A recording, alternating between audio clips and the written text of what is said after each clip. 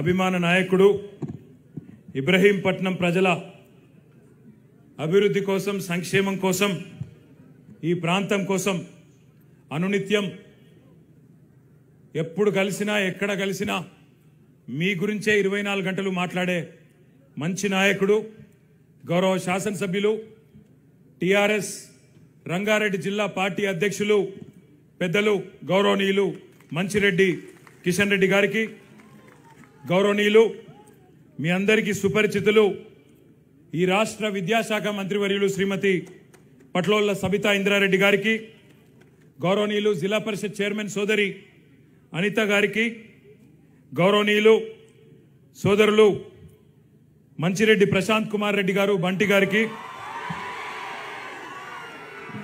బంటి ఫ్యాన్సా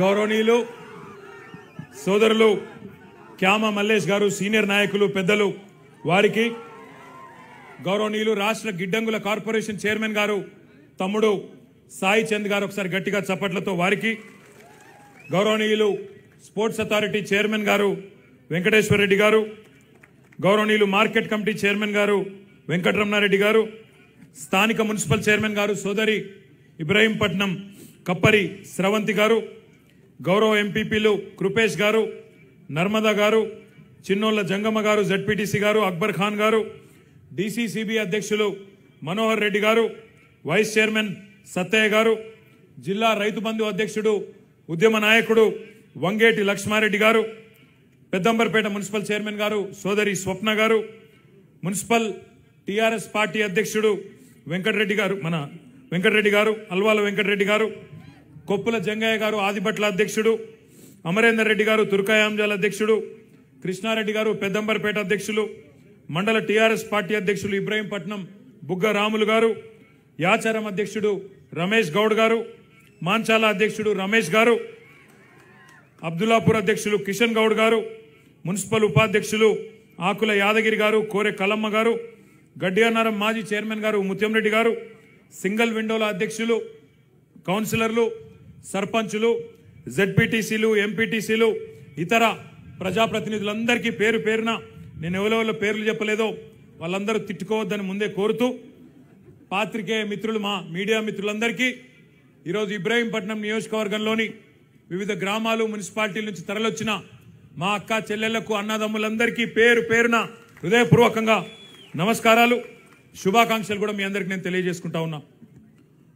పెద్దలు కేసీఆర్ గారు నీళ్ళు నిధులు నియామకాలు ఈ మూడింటి కోసమే తెలంగాణ కావాలి అని పద్నాలుగేళ్ళు కొట్లాడి మీ అందరి దయతో మీ అందరి ఆశీర్వాదంతో తెలంగాణ ఆడబిడ్డల మరి పోరాట పటిమతో తెలంగాణ రాష్ట్రాన్ని సాధించుకున్న విషయం మీకు తెలుసు. ఈ ఒకే ఒక్క రోజు నీళ్ళు నిధులు అని ఎందుకు చెప్తా ఉన్నా అంటే ఈ ఒకే ఒక్క రోజు ఇబ్రహీంపట్నం నియోజకవర్గంలో రెండు వందల ఇరవై ఒక్క కోట్ల రూపాయల నిధుల వరద ఈరోజు ఇబ్రహీంపట్నం నియోజకవర్గానికి వచ్చింది అంటే దానికి కారణం తెలంగాణ రాష్ట్రాన్ని మన గౌరవ ముఖ్యమంత్రి గారి నాయకత్వంలో మనం సాధించుకోవడమే. గతంలో ఏదైనా ఒక మున్సిపాలిటీకి ఒక కోటి రూపాయలు రెండు కోట్ల రూపాయలు వస్తే అదే మహద్భాగ్యం అన్నట్టుండే కానీ ఈరోజు మున్సిపాలిటీలకు వచ్చినప్పుడు ఇబ్రాహీంపట్నానికి వచ్చినా తుర్కాయాంజాలకు వచ్చినా అక్కడ మా మున్సిపల్ చైర్మన్లు అడుగుతా ఉన్నారు. పార్టీలకు అతీతంగా ఈరోజు పొద్దున్నుంచి ఇప్పటిదాకా ఇక్కడ కాంగ్రెస్ ఎం కాంగ్రెస్ మున్సిపల్ చైర్మన్లున్నా టీఆర్ఎస్ మున్సిపల్ చైర్మన్లు ఉన్నా వాళ్ళందరూ కలిసికట్టుగా వచ్చి ఒకటే అడుగుతా ఉన్నారు. అన్నా తెలంగాణ వచ్చింది. వచ్చిన ఈ తెలంగాణలో కేసీఆర్ గారి నాయకత్వంలో కడుపు నిండా సంక్షేమ కార్యక్రమాలు కడుపు నిండా అభివృద్ధి కార్యక్రమాలు అవుతున్నాయి. కానీ ఇంకింత వేగంగా మా ఇబ్రాహీంపట్నం నియోజకవర్గం గతంలో కమ్యూనిస్టుల పాలనలో వెనుకబడిపోయింది. కాబట్టి ఇప్పుడైనా వేగంగా డెవలప్ చేయండి అని చెప్పి అడుగుతా ఉన్నారు. ఒక్కసారి ఇక్కడికి వచ్చిన మా అక్కలు చెల్లెళ్ళు దయచేసి ఆలోచించాలని చెప్పి నేను కోరుతా ఉన్నా. తెలంగాణ రాకముందు పెన్షన్లు ఉండే. కానీ ఎంత ఉండే పెన్షన్లు ఆనాడు? రెండు వందల రూపాయలు. ఈరోజు ఎంత ఉన్నది పెన్షన్? ఆసరా పెన్షను రెండు వేల రూపాయలు. అంటే పది రెట్లు ఎగ్దం. రెండు వందలు ఉన్నది పది రెట్లు పెరిగి ఈరోజు బ్రహ్మాండంగా రెండు వేల రూపాయలు అయ్యింది. ఆనాడు తెలంగాణ రాకముందు రాష్ట్రంలో రెండు వందల రూపాయల పెన్షన్లు కేవలం ఇరవై తొమ్మిది లక్షల మందికి వచ్చేది. ఈరోజు తెలంగాణ వచ్చిన తర్వాత రెండు వేల రూపాయలు కావడమే కాదు ఇంకొక పదకొండు లక్షల మంది తోడై నలభై లక్షల మందికి పెన్షన్లు వస్తూ ఉన్నాయి. అంటే ఆనాడు ఎనిమిది వందల కోట్లు ఒక పెన్షన్ కోసం ఖర్చు పెడితే సంవత్సరానికి ఈరోజు పదివేల కోట్ల రూపాయలు ఒకే ఒక పెన్షన్ మీద ఖర్చు పెడుతున్నది కేసీఆర్ గారి ప్రభుత్వం అనే మాట నేను మీకు విజ్ఞప్తి చేస్తా ఉన్నా. ఇది ఒక్కటే చాలు. మనకు అర్థం కావడానికి. ఇక్కడికి వస్తుంటే ఒక పెద్దమ్మ కనబడ్డది. ఆ పెద్దమ్మ పేరు మంగమ్మ. తుర్కాయాంజల్లో కలిసింది. బాగున్నావా అమ్మ అన్న? బాగున్న కొడుక అన్నది. అంత మంచిదేనా ఇంట్లో బాగానే చూసుకుంటున్నారు అన్న. మంచిగానే చూసుకుంటున్నారు కొడుక. కేసీఆర్ ప్రభుత్వం రాకముందు నా కోడలి పిల్ల కొద్దిగా అటు ఇటు ఉండే కానీ కేసీఆర్ ప్రభుత్వం వచ్చినాక నాకు ఆసరా పింఛన్ వచ్చినాక మాత్రం కోడలు కూడా తెల్లరలేవగానే అడుగుతుంది. అత్తమా చాయ్ తాగుతావా? కాఫీ తాగుతావా? అంటుంది. అత్తమా గోళీలు వేసుకున్నావా అని అడుగుతుంది.